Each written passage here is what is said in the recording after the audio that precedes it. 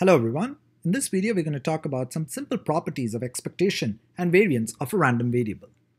Let us assume that you have some random variable x and you have a linear function or transformation of this random variable x. Now this linear transformation of x gives us a new random variable, say y. So y can be represented in this case as ax plus b because it's a linear transformation of x. Now, similar examples of such linear transformations are conversion from Celsius to the Fahrenheit scale and vice versa. So let's now look at what is going to be the expectation of y. Now expectation of y is going to be basically expectation of ax plus b. We are just substituting y with ax plus b. And what we will see that it will turn out to be a times expectation of x plus b. Now this is very simple and it's very convenient. So let's look at how this can happen. To do that, we have to find the expectation of ax plus b from first principles.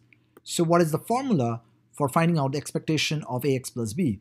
It's nothing but small ax plus b, the whole thing multiplied with the probability that the random variable capital X takes as value small x and you sum over all the different values of x. Now, of course, you can just break this summation up into two summations and what you will end up with is this final expression on your slide, which is a times x multiplied with probability of capital X equals x, this whole thing summed over different values of x plus b times probability of x equals x summed over all the different values of x. Now, the first term, which is x times probability of capital X equals x, summed over all different values of x, is nothing but expectation of x. And the second term is nothing but b because the summation probability of capital X equals x, summed over all the values of x, is just going to give you 1. So expectation of y turns out to be a times expectation of x plus b. Isn't this convenient? So now let's look at another case. Let's assume that y is a times x squared plus b times x plus c.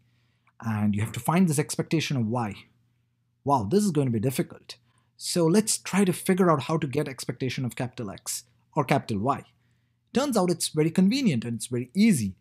Basically, you have to find out expectation of Y. What you'll end up having is is going to be a times expectation of x squared plus b times expectation of x plus c. It's as simple as the first one. So let's look at how we can get this formula. So to do that, we have to find out expectation of y, which from first principles is nothing but ax squared plus bx plus c, the whole thing multiplied with probability of capital X taking the value small x, you sum that over different values of small x. Now you split this summation into three different summations, as you can see on the screen. And what you'll end up finally having, expectation of y, is nothing but a times expectation of x squared plus b times expectation of x plus c. So this is very easy. And if you have y expressed something that's raised to the power of 3, it's easy. It's again going to be uh, follow the same logic and expectation y is going to be a times expectation of x to the power of 3 plus b times expectation of x squared plus c times expectation of x plus d. So what we understand here is that expectation of a sum of random variables is very easy to compute. Actually, it is, it is nothing but the summation of their individual expectations. That's what we are seeing here as well. That is, y in this case is a summation of a random variable x cube plus another random variable x squared plus another random variable x and there is d which is a constant and you can see that expectation of y is nothing but their summation. Okay. Now let's look at the variance of a random variable and see what are the properties of variance. Now let's assume here that y is a linear function of x and a very simple linear function which is y equals x plus b. So what we're doing is we are just shifting each value of x with this constant b. Now in this figure here, what you have is the probability mass function of x. And you can see that that is the 2 sigma of x, which is basically the spread of that random variable. The sigma notes the standard deviation of x. Now let's look at the spread of y. Now y is x plus 10. Let's take that example where b is equal to 10. But you'll see that all the values of y are going to be shifted by 10 and the PMF is going to look the same as x, but it's going to be centered at a different value. essentially the PMF in the previous case or PMF of x was centered around 15 and the PMF of y is kind of centered around 25 in this case.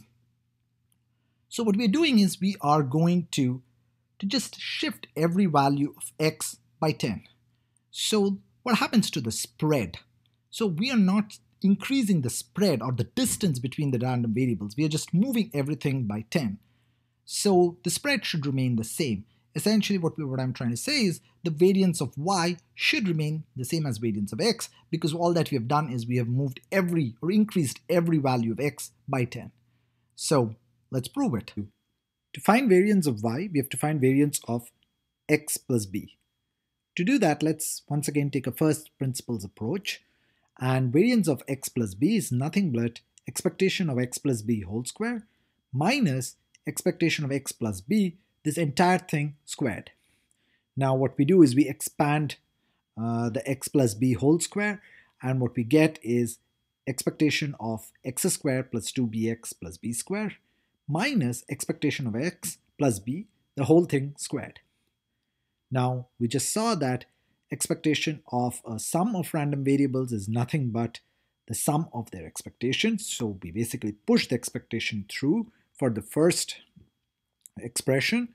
And what we do is for the second expression, we just expand it similar to a plus b whole square. And by simplifying, what we get is we get expectation of x squared minus expectation of x whole square, which is nothing but variance of x. So what we've proved that variance of y is going to be variance of x when y is of the form x plus b. That is, y is just x shifted by a linear uh, factor of b. Okay, now let's consider another example where y equals ax. Here, every value of x is being scaled by the scalar a, and that is what is being assigned to y. So once again, we have the PMF of x, which is shown here. Now, as every value of x is being scaled by this factor of a, we will see that there is a spread in this PMF.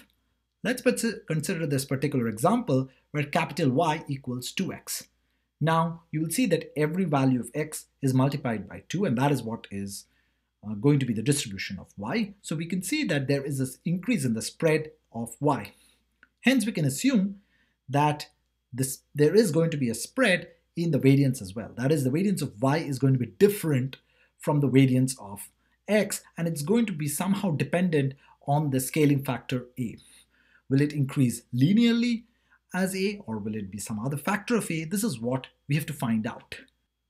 To find out the variance of y, we once again start from first principles and what we will see is that variance of y is nothing but a square variance of x and the standard deviation of y is going to be a times standard deviation of x. So the variance gets scaled by a square. So let's see how this happens. So variance of y is nothing but variance of ax. And using the formula, we will get variance of ax as expectation of ax whole square minus expectation of ax, this entire thing squared. Now, if we just do the simple math, this is going to be expectation of a square x squared minus a times expectation of x, this entire thing squared. Now a is a constant, hence we can take it out of the expectation in the first term, and what we'll get is a square expectation of x squared minus a squared expectation of x whole squared. Now the a squared is common in both these terms. So taking that out, what we'll find is variance of y is nothing but a square variance of x. With this, I'll conclude this video. In this video, we looked at some of the simple properties of expectation and variance, and we'll continue with some more distributions and things like that in the coming videos.